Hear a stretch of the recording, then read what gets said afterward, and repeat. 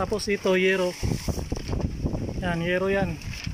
Hindi na natin papatungan ano, dito na tayo pap, dito na tayo magsi-sit up kasi pantay siya rito.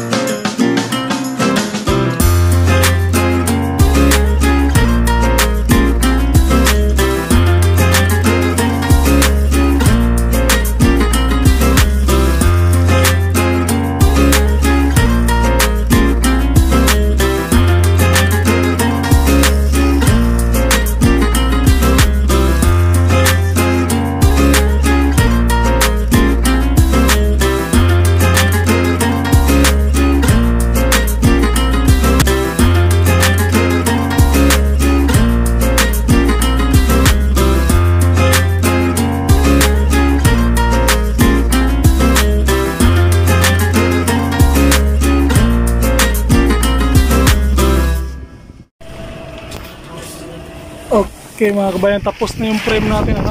Yan. Lakas ng hangin. Yan, may frame na no.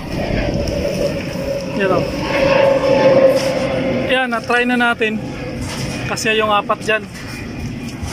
So, apat na tuna box. Tapos dito, apat din. Tapos dito, apat. So, 12 na tuna box ano doon. Sa kanan natin yun sis- sisitapan doon sa dulo. Dito lang muna no 12 12 na tuna box lang muna yung sit up natin dito. Tapos kung napapansin nyo mga scrap lang na ano bakal ano? May mga scrap scrap lang tayo para hindi tayo magastusan ng malaki. Tapos ito ito no yung pinagamitan na pinaglumaan. Recycle lang natin yan ano, dugtong-dugtong lang. Yan. Tapos pipinturahan na natin ng black. Yan. Pinturahan na natin ng black yan dyan. Dito muna unahin natin. Tapos ito, yero. Yan, yero yan. Hindi na natin papatungan ano, dito na tayo pap, dito na tayo magsi-sit up kasi pantay siya rito. Yung tubig na nutrient niya pantay ano, para pantay. Kagaya niya no. Yan. Para maganda tingnan. Tapos, ah, pipinturahan natin ngayon ng black. Pag natuyo na bukas, maglalagay na tayo ng lilinisan muna natin pag natuyo bukas. Tapos, ah, ito yung mga punla natin. Yan. Direct sewing siya, no? Yan lang muna yung punla natin. Yan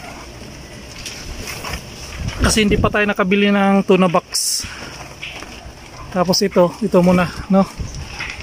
Observe muna tayo. Tapos uh, itong net shades net itong shades net dinagdag ko kanina kasi napakainit.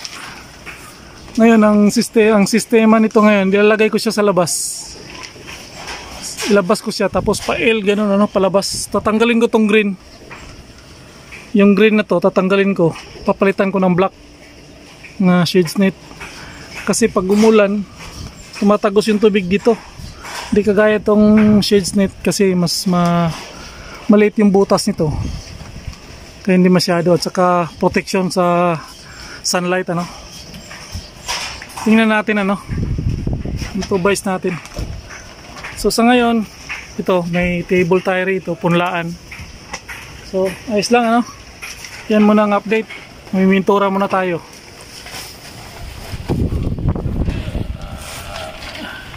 lakas ng hangin.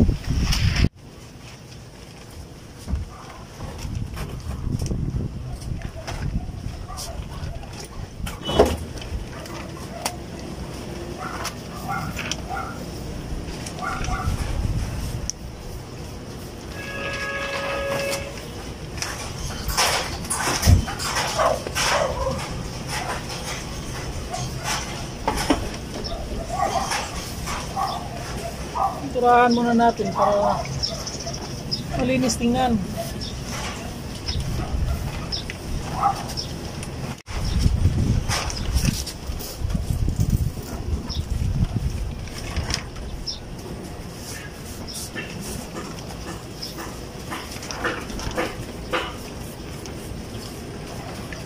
Kailangan matapos natin kagad kasi daming gagawin.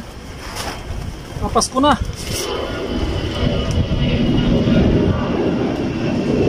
Kailangan bago mag New Year wala na, tapos na. Pa-relax na tayo. Kasi hindi maganda pag New Year yung di pa tapos yung ginagawa natin. Kailangan iiwan natin yung iiwan natin yung 2001 na wala na tayong gagawin na ano ah mga back job kailangan tapos dahil 2022 kailangan. Wala kang maiwanan sa 2021 na ano. yung mga kalat kasi hindi maganda yun. Kalat sa bahay. Kailangan malinis yung